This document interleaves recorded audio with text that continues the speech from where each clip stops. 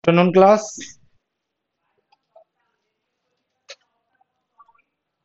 चलिए देखिए, कल जो हम लोगों ने सीखा था लास्ट में, हम लोग थोड़ा सा उसका रिवीजन करते हैं ताकि क्वेश्चन बनाने में हम लोगों को आसानी हो जाएगी। कल हम लोगों ने चार टाइप सीखा था। टाइप वन में हमने सीखा था कि वो ऐसे समय की रचना करेगा,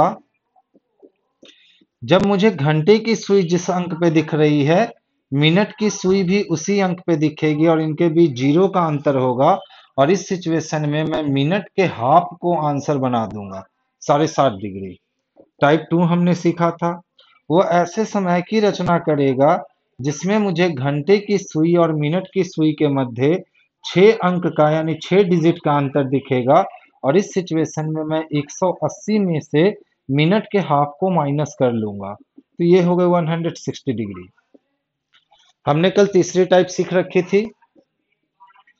वो ऐसे समय की बात करेगा जब घंटे की सुई से मिनट के सुई की ओर मूव करना आसान होगा। जैसे थ्री से फाइव की ओर मूव करने में टू का डिफरेंस है। तो टू कहने का मतलब है कि two into thirty degree equal to sixty degree और जब मैं घंटे की सुई से मिनट के सुई की ओर मूव करूँगा तो मिनट के हाफ़ को मैं इसमें माइनस कर दूँगा, यानी ट्वेल्व एंड हाफ़ को मैं माइनस कर दूँगा। तो 60 में 12 एंड हाफ़ माइनस करने पर 47 seven one by two degree हमारे पास आंसर आ जाएँगे। नेक्स्ट हमने टाइप फोर सीख रखा था, जिसमें हम लोगों ने सीखा था कि वो ऐसे समय की कल्पना कर लेगा जब मिनट की हैंड से आवर के हैंड की ओर मूव करना इजी हो जाएगा। जैसे तीन से फाइव की ओर मूव करने में मुझे टू मिलेंगे तो टू को मैं थर्टी से गुना करूँगा थर्टी टू या सिक्सटी होते हैं।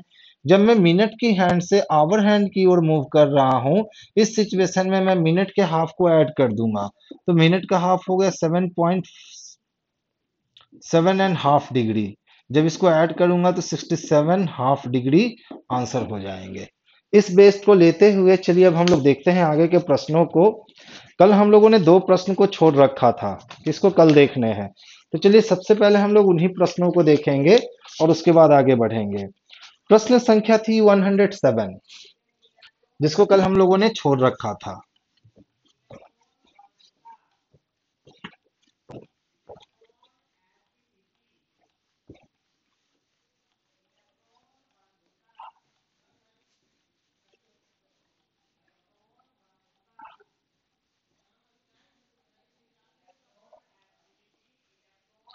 देखिए क्वेश्चन 107 कहता है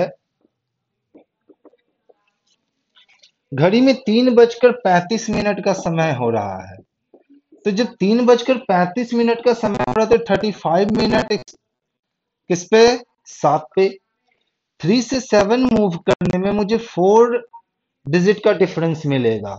इस फोर डिजिट को मैं मन में थर्टी से गुना करूँगा तो ये वन हंड्रेड ट्वेंटी डिग्री हो जाएँगे।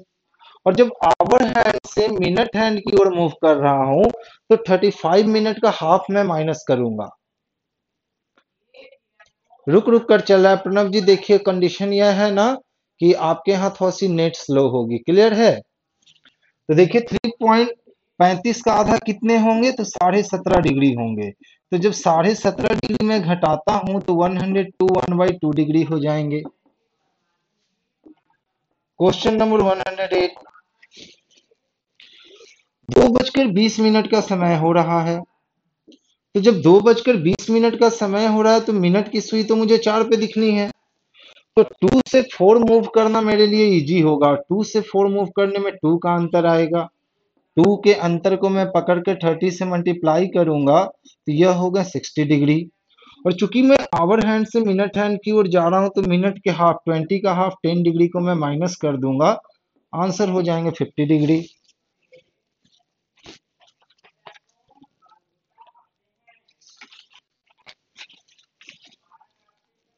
कल हम लोगों ने छैतीस दर्पण तक के समय को देख लिया था। आज हम लोग देख रहे हैं 120 से देखिए, दो बजकर कितने मिनट हो रहे हैं? दस मिनट हो रहे हैं। दस मिनट इसका मीनिंग है कि मिनट की सुई भी मुझे दो पे ही दिखेगी। जब घंटे की सुई और मिनट की सुई मुझे दोनों सेम डिजिट पे दिख रही है डेट मीन्स इसके बीच डिफरेंस जो है वो ज़ीरो डिग्री का है। और ज़ीरो अंक का डिफरेंस होने का मतलब है, बस मिनट के हाफ़ को मैं आंसर बना दूँगा। तो 10 का आधा हो गए पाँच डिग्री सेम कंडीशन टू 121 इसमें ये कहता है, आठ बजकर चालीस मिनट का समय हो रहा है। एट फोर्टी हो रहे हैं। चालीस मिनट कहने का मतलब एट पे होंगे सुई मिनट हैंड और आवर हैंड के बीच जो अंक है ज़ीरो का डिफरेंस ज़ीरो का डिफरेंस आया तो मिनट का हाफ़ तो फोर्टी का हाफ़ ट्वेंटी डिग्री आंसर हो जाएँगे। वन ट्वेंटी टू ये कहता है, एक बजकर बीस मिनट का समय हो रहा है।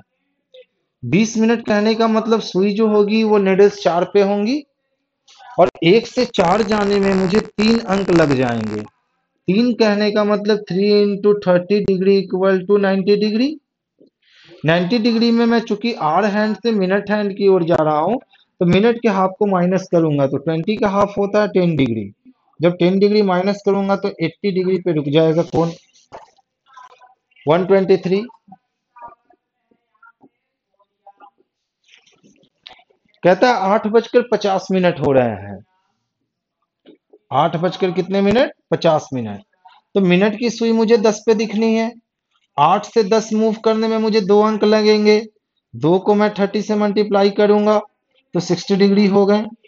ऑलरेडी मैं आर हैंड से मिनट हैंड की ओर मूव कर रहा हूँ तो मिनट के हाफ़ को मैं माइनस करूँगा। तो 60 डिग्री में 25 डिग्री मैंने माइनस कर दिया तो 35 डिग्री का एंगल क्रिएट हो गया।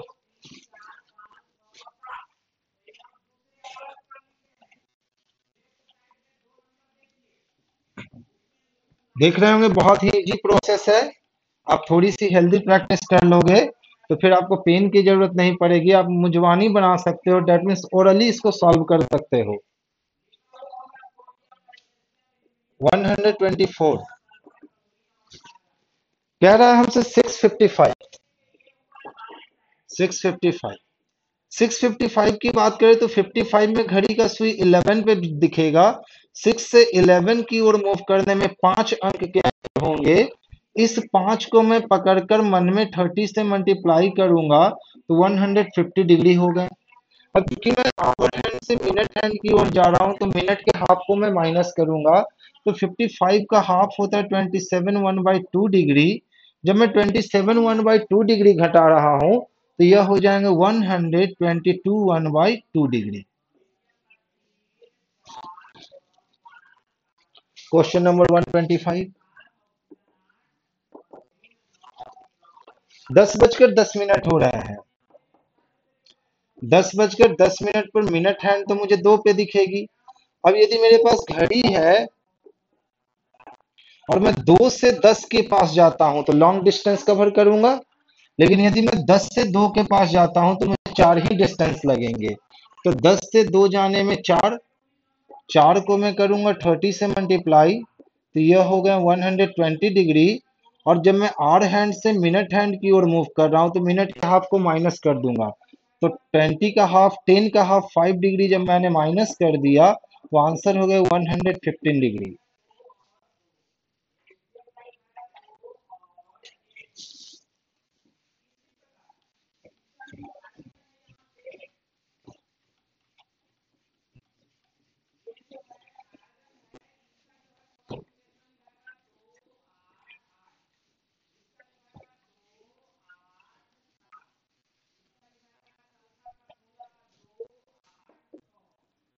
126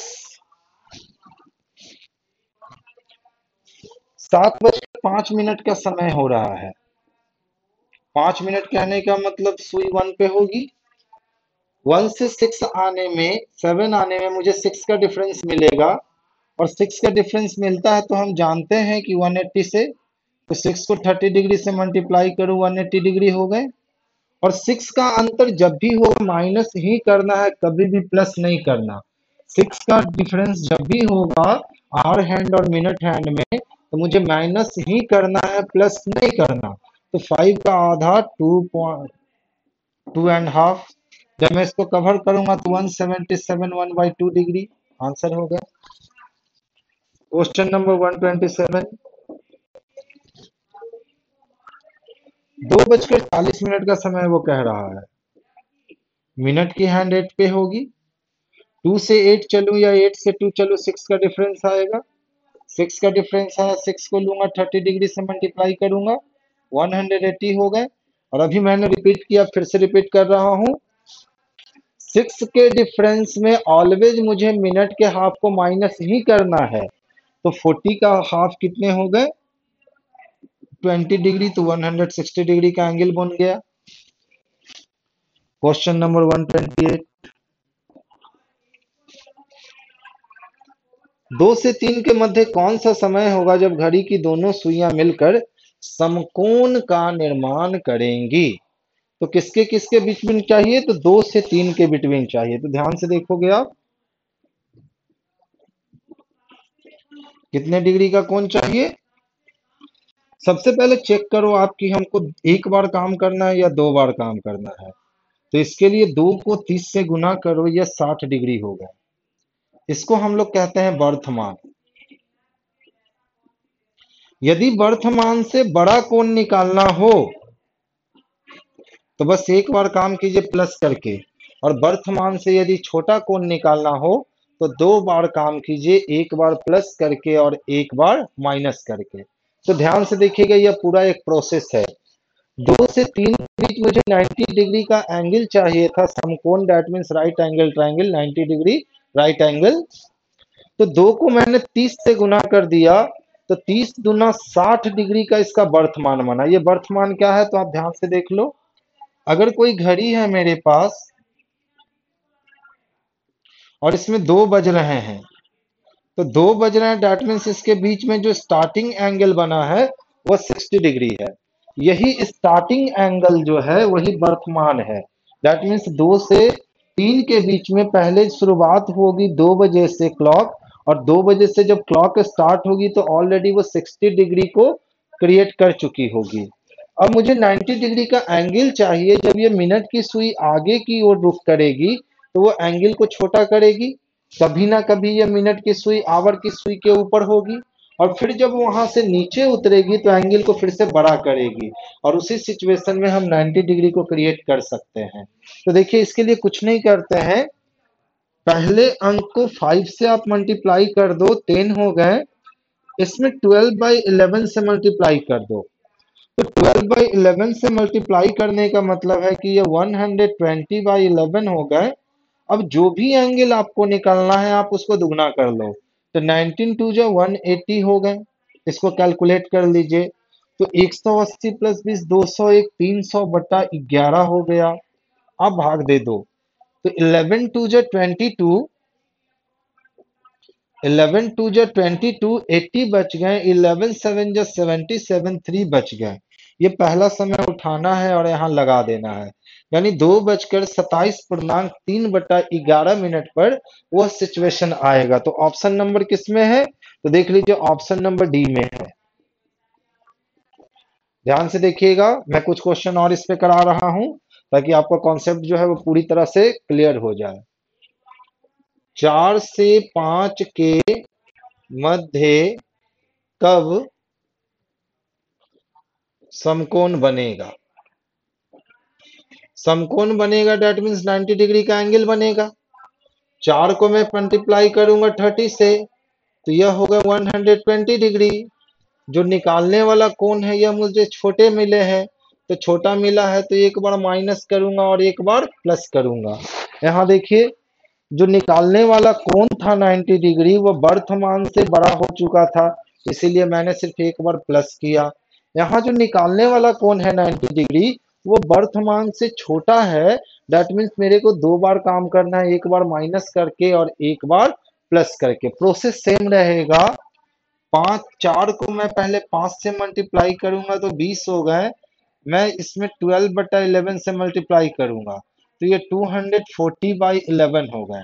अब दो काम करने हैं। पहली बार two hundred forty by eleven के साथ माइनस करना है वन हंड्रेड एट्टी डिग्री और दूसरी बार मुझे 240 बाई इलेवन के साथ प्लस करना है 180 डिग्री तो जब मैं 240 में से 180 को माइनस करता हूँ तो यहाँ मेरे पास निकल कर आते हैं 60 बाई इलेवन जब मैं ब्रेक डाउन करूँगा तो 11 फाइव जब 55 रिमाइंडर बच गए 5 यानी पहला समय जो आएगा, वो चार बज के पाँच पूर्णांक पाँच बट्टा ग्यारह मिनट पे आएगा। दूसरी बार मैं जोड़ूँगा तो 180 में 20 जोड़ दिया 200 और फिर 220 यानी 420 बट्टा ग्यारह। जब मैं इसको ब्रेक डाउन करूँगा तो 11 थ्री जा थर्टी थ्री बच गए 90 11 एट जा 88 रिमाइंडर बच गए टू। यह समय मैं लगा दूँगा, यानी चार बजकर अड़तीस पूर्णांक दो बटा ग्यारह मिनट। ऑप्शन कुछ इस तरह से होंगे। चार बज के पाँच पूर्णांक पाँच बट्टा ग्यारह मिनट ऑप्शन बी चार बज के अड़तीस पूर्णांक दो बट्टा ग्यारह मिनट ऑप्शन सी चार बजकर चालीस मिनट, और ऑप्शन डी बोथ ए और बी इसका चयन करेंगे।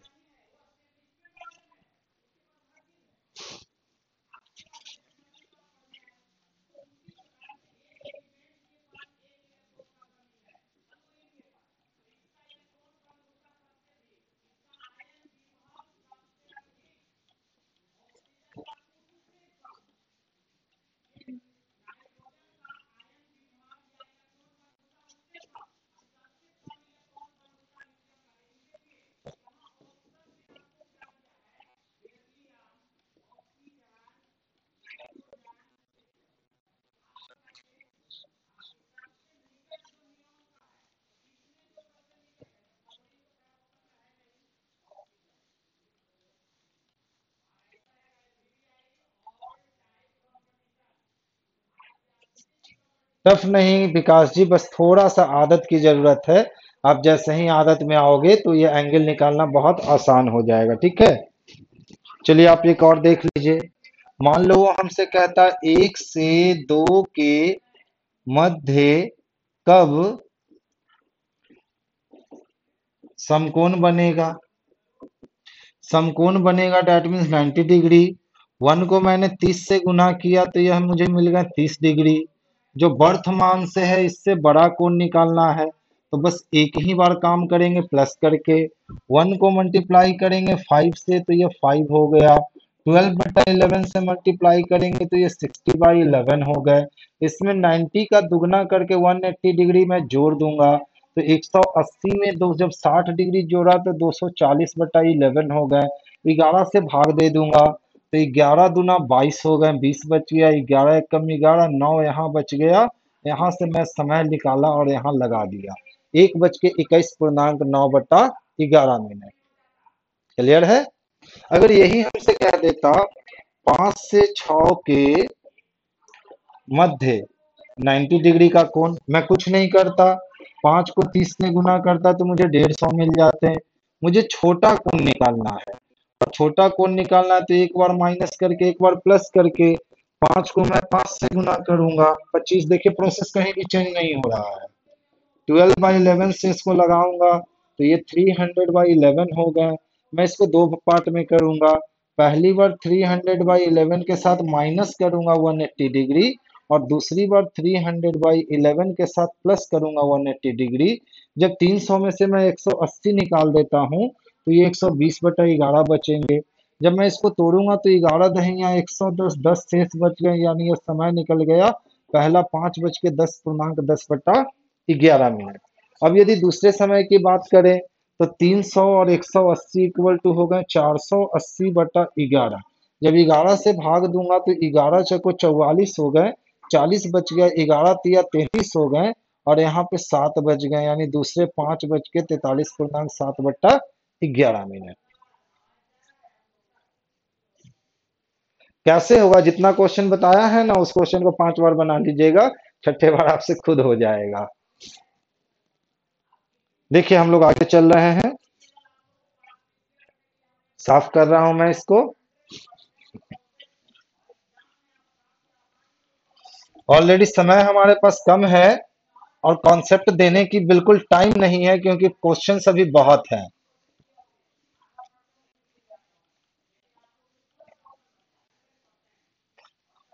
चलिए देखिए, ध्यान से देखोगे। जहाँ तक हो सके संभव मैं सिखाने की बस कोशिश कर रहा हूँ आपको, क्योंकि आप खुद भी जानते हो कि 10 दिन में 500 क्वेश्चन को कवर करने का मीनिंग है कि एक दिन में ऑलमोस्ट 50 क्वेश्चन कवर करना होगा। जिस तरीके से मैं आपको सिखा रहा हूँ, एक दिन में 50 क्वेश्चन संभव नहीं है, क्योंकि 50 क्वेश्चन करने के लिए मैं आपकी बात सुनूँगा ही नहीं, बस चलता रह जाऊँगा। चलिए देखिए ध्यान से यहाँ। आठ डायरेक्शन होते हैं। East, west, north, south, north, east, south east, south, west, north, west. इसमें नॉर्थ बारह होता है, साउथ छ ईस्ट तीन, नौ, एक, दो, चार, पाँच, सात, आठ, दस, ग्यारह। अगर आप ये ध्यान से देखो तो ये पूरी एक घड़ी बन गई हमारे सामने। क्या बन गई? घड़ी बन गई। हाँ बिल्कुल, जब बड़ा एंगल जब यहाँ का मान बड़ा हो और यहाँ का मान छोटा हो तो दो बार काम करने होंगे, एक बार माइनस और एक बार प्लस लेकिन जब यहाँ का मान छोटा हो और यहाँ का मान बड़ा हो तो एक बार काम करना होगा सिर्फ़ प्लस के साथ। जैसे देखिए, यहाँ का मान 30 डिग्री था, यहाँ 90 डिग्री था। यानी निकालने वाला कोण जो था, वो वर्तमान से बड़ा था तो एक बार काम किया, सिर्फ़ जोड़कर आंसर मिल गए। लेकिन यहाँ पे मान 150 डिग्री है और निकालना मुझे 90 डिग्री यानी जो मेरा बर्थ मान है, उससे मुझे छोटा कोण निकालने हैं तो ये काम मुझे दो बार करने होंगे, एक बार माइनस के साथ और एक बार प्लस के साथ। बस इतना ही याद रखना है और बाकी प्रोसेस ऑलवेज यही चलेगा।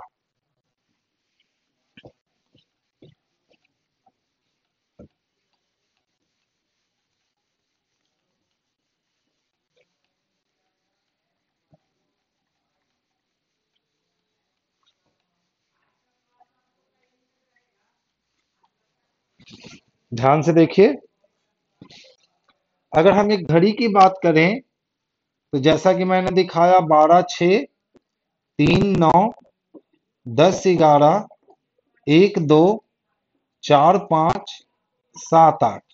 घड़ी तो ऐसे होगा, यह हमारे लिए नॉर्थ होगा, यह साउथ होगा, यह ईस्ट होगा और यह वेस्ट होगा। यह घड़ी का मेन पार्ट है। क्लियर? अब आज अनामिका जी, देखिए, आवाज़ सिर्फ़ आपको नहीं आ रही है, बाकी सारे बच्चे जो हैं, वो आवाज़ बिल्कुल स्पष्ट रूप से सुन पा रहे हैं। तो आप देख लीजिए थोड़ा सा आपके सिस्टम में कुछ इरर होगा, आप एक बार रिफ्रेश कर लीजिए। तो देखिए, ये जो घड़ी होता है ना, जैसा कि हमने यहाँ देखा, थ्री होते हैं, ईस्ट पे नाइन होते हैं, वेस्ट पे बारह होते हैं, नॉर्थ पे और छह होते हैं, साउथ पे। ये एक्चुअल है, क्लियर है? तो एक और दो जो होगा, वो नॉर्थ ईस्ट डायरेक्शन होगा। फाइव जो होंगे साउथ ईस्ट डायरेक्शन सेवन और एट साउथ वेस्ट टेन और इलेवन नॉर्थ वेस्ट डायरेक्शन होंगे। क्लियर अब देखिए क्वेश्चन क्या कहता है। कहता है, भैया, एक घड़ी में तीन बजकर तीस मिनट का समय हो रहा है। तो जब तीन मिनट बजकर तीस मिनट का समय हो रहा है तो मिनट वाली सुई एग्जैक्ट छह पर होगी और घंटे वाली सुई जो है वो तीन से और चार से बीच में होगी, क्योंकि ये थर्टी मिनट ऑलरेडी चल चुकी है। अब वो कहता है कि यदि मिनट वाली सुई दक्षिण दिशा में है तो मिनट वाली सुई यदि साउथ में होगी तो घंटे वाली सुई ईस्ट में तो तब होगी जब वो तीन पे होगी। तो ईस्ट और साउथ के बीच में आ गई है तो इसका आंसर हो जाएगा south east, option number C. तो 129 के लिए आंसर हो गया ऑप्शन नंबर सी। 130 देखा जाए। अब कहता है कि घड़ी में चार बजकर पचास मिनट का समय हो रहा है। तो चार बजकर पचास मिनट में मिनट वाली सुई तो एग्जैक्ट दस पे होगी और ये घंटे वाली सुई पच्चीस डिग्री मूव कर चुकी होगी पाँच की ओर। क्लियर? चार बजकर पचास मिनट में मिनट वाली सुई एग्जैक्ट दस पे होगी, लेकिन मिनट वाली सुई जो है वो चार से पच्चीस डिग्री मूव करके आ गई होगी पाँच से पाँच डिग्री पहले। अब कहता है हमसे, यदि एक व्यक्ति को घंटे की सुई दक्षिण पश्चिम में दिखती है तो हमें घंटे की सुई कहाँ दिख रही है? साउथ ईस्ट में दिख रही है, लेकिन उस व्यक्ति को कहाँ दिख रही है? साउथ वेस्ट में दिख रही है। तो यदि साउथ ईस्ट वाली कोई सुई उसे साउथ वेस्ट में दिख रही है दैट मीन्स वो 90 डिग्री क्लॉकवाइज घुमाकर घड़ी को देख रहा है। तो अब हमसे पूछता बताइए नौ बजे घंटे की सुई कहाँ होगी? तो नौ बजे की यदि मैं बात करूँ तो घंटे की सुई जो है वो तो एग्जैक्ट नौ पे होगी। लेकिन इस व्यक्ति को जब दिखता है तो सिस्टम क्लॉकवाइज 90 डिग्री घूमने के बाद दिखता है। तो जब मैं नॉर्थ से 90 डिग्री क्लॉकवाइज घुमाऊँगा तो 12 पे यानी नॉर्थ पे पहुंचूँगा तो 30 का आंसर हो गया नॉर्थ यानी ऑप्शन नंबर ए इकतीस नंबर क्वेश्चन कहता है। ध्यान से देखिएगा इकतीस नंबर क्वेश्चन कहता है, एक घड़ी में छह बजकर दस मिनट का समय हो रहा है। तो दस मिनट में मिनट की सुई दो पे होगी और घंटे की जो सुई होगी वो छह से पाँच डिग्री आगे निकल चुकी होगी।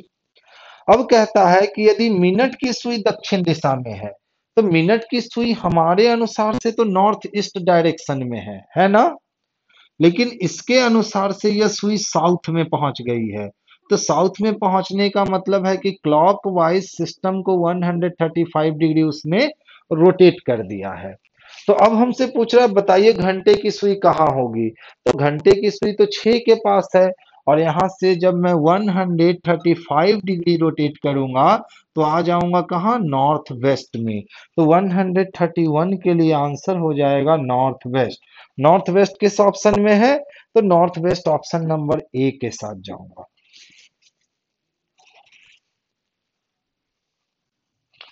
आगे चल रहा हूँ।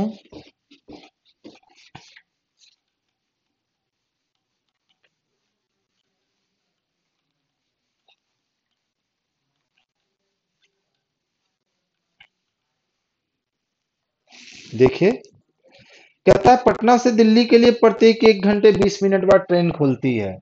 तो कितने देर पे खुलती है? तो एक घंटा बीस मिनट पे ट्रेन खुलती है।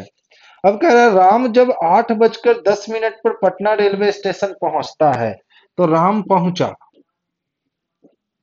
कब? आठ बजकर दस मिनट पर। तो उसे सूचना मिलती है कि उसकी ट्रेन 40 मिनट पहले जा चुकी है।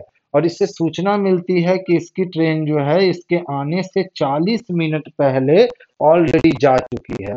तो यदि 8-10 से मैं 40 मिनट पीछे की ओर जाता हूँ, इसका मतलब है कि उसकी ट्रेन जो है, वो सात बजकर तीस मिनट पर खुल चुकी है।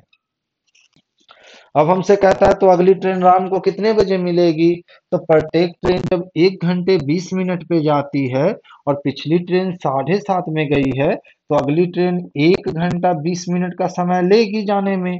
तो तीस और बीस पचास हो गए और सात और एक आठ हो गए। यानी अगली ट्रेन जो है राम को आठ बजकर पचास मिनट पर मिलेगी। और आठ बजकर पचास मिनट पर अगली ट्रेन कितने मिनट? अच्छा पूछा, अगली ट्रेन के लिए राम को कितना मिनट इंतज़ार करना पड़ेगा? तो हमें तो इतना करना भी नहीं था। देख, ध्यान से देखिएगा। इतना भी नहीं करना था इस क्वेश्चन में, और आसान था, क्योंकि उसने पूछ दिया कि अगली ट्रेन के लिए कितना मिनट इंतज़ार करना पड़ेगा। प्रत्येक ट्रेन कितने देर पे जाती है? एक घंटा बीस मिनट पे। एक घंटा बीस मिनट का मतलब है कि अस्सी मिनट बाद ट्रेन जाएगी।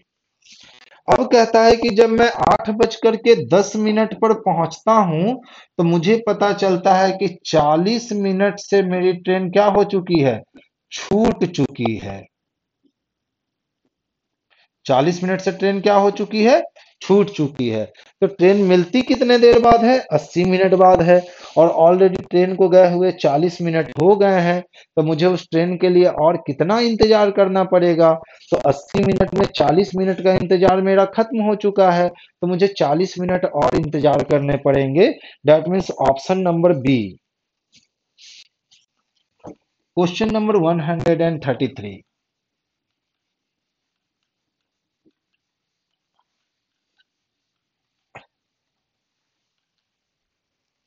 ध्यान से देखिएगा।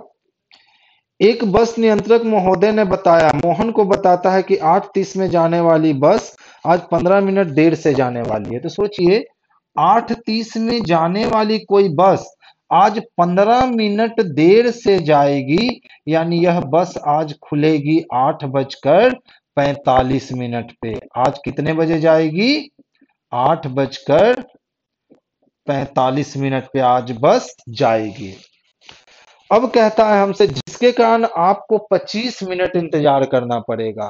तो 8:45 में जब बस खुलेगी तो मुझे 25 मिनट इंतज़ार करना पड़ेगा। इसका मतलब है कि मैं बस स्टॉप पर 8:45 से 25 मिनट पहले हूँ। तो 8:45 से 25 मिनट पहले हूँ डेट मीन्स मैं आठ बज के बीस मिनट पे कहा हूँ? तो बस स्टॉप पर हूँ। आगे कहता है, मोहन को घर से 20 मिनट जाने में, बस स्टैंड जाने में 20 मिनट लगता है। यदि बस 9 बजे खुलती तो मोहन अपने घर से कितने बजे निकलता? इस समय पे पकड़ लेता। तो सोचिए 9 बजे बस अगर खुलती और राम को 20 मिनट का समय लगता है तो वो 9 बजे से 20 मिनट पहले घर से निकलता डेट मीन्स आठ बजकर चालीस मिनट पर राम घर से निकल जाता तो उसको उसकी बस मिल जाती। तो 133 के लिए ऑप्शन नंबर बी जो है वो सुटेबल आंसर है। चलिए क्लॉक हो चुके हैं आपके द एंड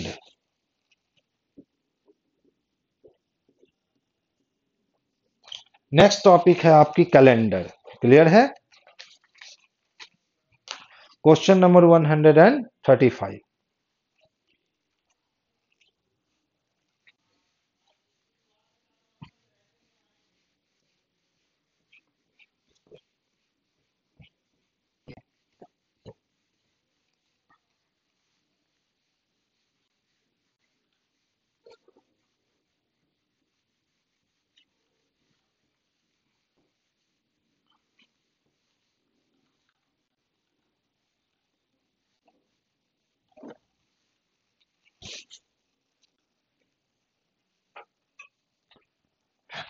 अनामिका जी, आवाज़ आनी स्टार्ट हुई आपको?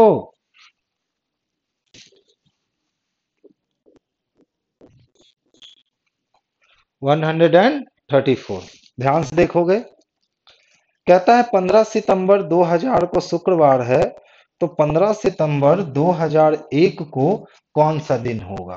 तो ध्यान से देखिए, जब 15 सितंबर 2000 को फ्राइडे है तो 15 सितंबर 2001 को जाने का मीनिंग है कि एक साल का अंतर हो जाएगा। कितने साल का अंतर? एक साल का। और यदि हम एक साल का डिफरेंस लेते हैं सेम डे और सेम मंथ में तो इस सिचुएशन में यदि 29 फरवरी क्रॉस करना पड़ गया तो दो दिन की बढ़त होती है और 29 फरवरी क्रॉस नहीं करना पड़े तो मुझे एक दिन की बढ़त होती है। क्लियर है? क्या याद रखना है? किसी भी वर्ष से दूसरे वर्ष जाने में यदि बीच रास्ते में 29 फरवरी को मैं क्रॉस करूँगा तो वहाँ टू डेज़ की इंक्रीजमेंट होंगे। लेकिन यदि मैं 29 फरवरी को क्रॉस नहीं करूँगा तो वहाँ वन डे इंक्रीज करेगा। तो ध्यान से देखिए तो 2000 ऑलरेडी लीप ईयर है है? लेकिन मैं 15 सितंबर को हूँ तो 29 फरवरी जो है वो 15 सितंबर से पहले ही इंड हो चुका है। तो 15 सितंबर 2000 से 15 सितंबर 2001 में जब मैं आऊँगा तो मुझे फरवरी किसका क्रॉस करना पड़ेगा? 2000 का कि 2001 का? तो मुझे 2001 की फरवरी को क्रॉस करना पड़ेगा और चूँकि 2001 की फरवरी जो होगी, वो साधारण वर्ष होगी, इसीलिए एक दिन की बढ़त हो जाएगी और फ्राइडे से यह सैटरडे हो जाएगा। सैटरडे किसमें है? तो बी नंबर में है। 135 कहता है कि 1988 में स्वतंत्रता दिवस बुधवार को मनाया गया। स्वतंत्रता दिवस डेट मीन्स 15 अगस्त जो है 1998 में। कब? 88 में। 88 में कब मनाया गया? तो वेडनेसडे को मनाया गया। अब वो जानना चाहता है कि 15 अगस्त 1989 किस दिन को मनाया जाएगा? तो आप ध्यान से अगर देखोगे तो 88 लीप ईयर है। लेकिन 88 में मैं 15 अगस्त से चल रहा हूँ। इसका मतलब है कि 29 फरवरी जो होगा, वह बेचारा कहाँ छूट गया? तो पीछे छूट गया। जब 29 फरवरी पीछे छूट गया हो तो एक साल से दूसरे साल के सेम दिवस में जाने पर एक दिन की वृद्धि होती है तो वेडनसडे से यह हो गया थर्सडे क्लियर लेकिन यदि यही क्वेश्चन हमसे कह देता कि 26 जनवरी 1988 को वेडनसडे है तो 26 जनवरी और 1989 को कौन सा दिन होगा? तो ध्यान से देखिए तो 26 जनवरी 88 से जब मैं चलूँगा तो पूरा जनवरी इंड करने के बाद मुझे फेबररी भी इंड करने होंगे। तो फेबररी 88 का 29 डेज़ का होगा, जिसके कारण यह क्या करेगा कि दो दिन बढ़ा लेगा। तो थर्सडे छोड़कर यह क्या हो जाएगा? तो फ्राइडे हो जाएगा। क्लियर है? फरीदा जी, क्या है? क्यों लीप ईयर है, कैसे पता चलेगा? अच्छा कौन लीप ईयर है, कैसे पता चलेगा? बड़ा अच्छा क्वेश्चन है, लेकिन गंदा भी क्वेश्चन है, ठीक है? ध्यान से सुनिएगा। जब किसी भी वर्ष का अंतिम दो अंक चार से पूरा पूरा कट जाएगा तो वो लीप ईयर हो जाएगा। और जब किसी वर्ष का अंतिम दो अंक चार से पूरा पूरा नहीं कटेगा तो वो साधारण वर्ष हो जाएगा। जैसे यदि हम यहाँ 88 देखते हैं और चार से भाग देते हैं तो चार दुना आठ और फिर चार दुना आठ। रिमाइंडर कुछ भी नहीं बच सका, इसका मतलब 88 जो है वो लीप ईयर है।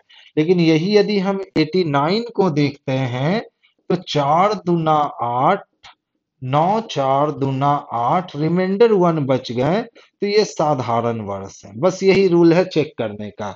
यानी लास्ट टू डिजिट यदि फोर से डिविजिबल है हंड्रेड परसेंट तो वह लीप ईयर है और लास्ट टू डिजिट किसी भी ईयर का फोर से डिविजिबल नहीं है हंड्रेड परसेंट तो वो साधारण वर्ष है। क्लियर है? एक वर्ष से दूसरे वर्ष जाने में यदि 29 फरवरी सपोर्ट में होगा तो इस समय क्या होगा कि मेरा दो दिन का बढ़त हो जाएगा। लेकिन यदि 29 फरवरी सपोर्ट में नहीं होगा, तब हमारे पास एक ही दिन की बढ़त होगी। जैसे अगर हम यहाँ ध्यान से देखें तो 15 अगस्त 1988 यानी यह भी लीप ईयर है। 26 जनवरी 1988 यह भी लीप ईयर है। लेकिन यहाँ से 88 से 89 जाने में, जब हम 15 अगस्त से चलेंगे, इसका मीनिंग है कि 29 फरवरी जो है वो पीछे रह गया है। तो अब यहाँ से यहाँ आने में बस एक दिन की बढ़त होगी। लेकिन जब 26 जनवरी 1988 से 26 जनवरी 1989 तक जाएँगे तो इस कंडीशन में फरवरी का उनतीसवां दिन मेरे साथ खड़ा होगा। तो यहाँ दो दिन की बढ़त हो गई। तो यहाँ थर्सडे छोड़कर फ्राइडे हो जाएगा। यह याद रखना है कि कोई भी लीप ईयर लीप ईयर के रूप में तभी काउंट किया जाएगा जब उसका 29 फरवरी उसके साथ होगा। यदि उसका 29 फरवरी उसके साथ ना हो तो लीप ईयर भी साधारण ईयर के रूप में ही हमको काउंट करना है। अगर ये कैलेंडर में याद हो ना तो जो हम लोग एक दिन आगे और एक दिन पीछे चले जाते हैं, वो सिचुएशन कभी भी नहीं आ सकता है। तो चलिए, दो क्वेश्चन खत्म हो गए। ध्यान से देखिएगा। 136 18 फैब 1997 को कौन सा दिन है? तो ट्यूसडे है। अब वो जानना चाहता है हमसे कि 18 फैब 1999 को कौन सा दिन होगा। कुछ भी नहीं करना है डेट से मतलब है नहीं मंथ से मतलब है नहीं। क्योंकि डेट और मंथ जो है वो दोनों के दोनों क्या है? बैलेंस है। मुझे मतलब किससे है? तो मुझे मतलब ईयर से है। क्लियर सबसे पहले क्या करो आप कि इसका अंतर निकाल लो और उसमें लीप ईयर को उंगली पर काउंट कर लो। अगर ये सात से अधिक है तो सात से भाग दो और सात से अधिक नहीं है तो सात से भाग मत दो। तो देखिए तो 97 से 99 जाने के लिए मुझे अंतर जो मिलेगा ये दो साल मिलेगा। अब 97 से 99 तक कोई भी लीप ईयर नहीं मिलेंगे क्योंकि 96 लीप ईयर होगा और फिर 2000 लीप ईयर होगा। तो लीप ईयर की संख्या ज़ीरो हो गई तो zero plus two equal to zero मैंने कहा कि जब यह जोड़ने के बाद यदि सात से अधिक है तो सात से भाग दो, और सात से अधिक नहीं है तो सात से भाग मत दो। तो मेरे पास दो बच गए, आगे जाते समय जोड़ दो और पीछे जाते समय घटा दो। तो ट्यूसडे में मैं दो दिन जोड़ दूँगा तो वेडनसडे छोड़कर मैं थर्सडे को पहुँच गया। चलिए देखिए, मैं एक क्वेश्चन और कर रहा हूँ। एक्स्ट्रा जो यहाँ से रिलेटेड नहीं है आपके मटेरियल से।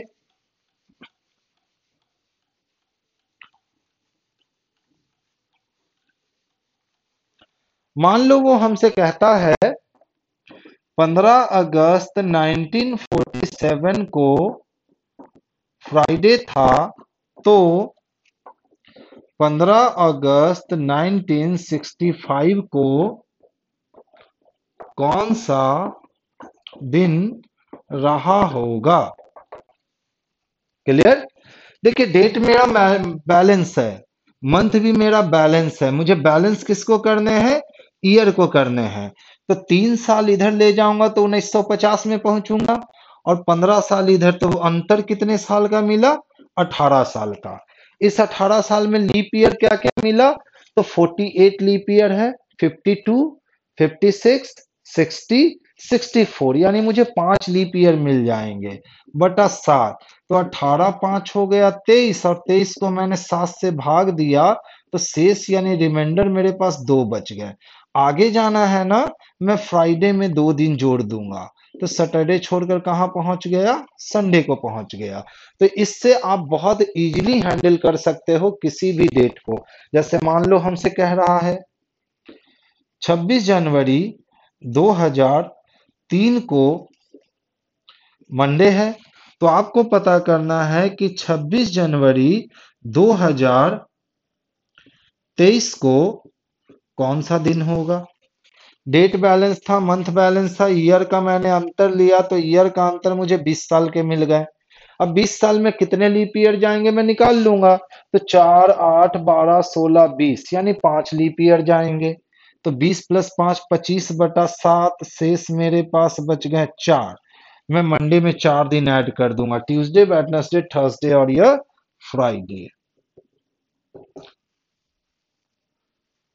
आगे चल रहा हूँ मैं।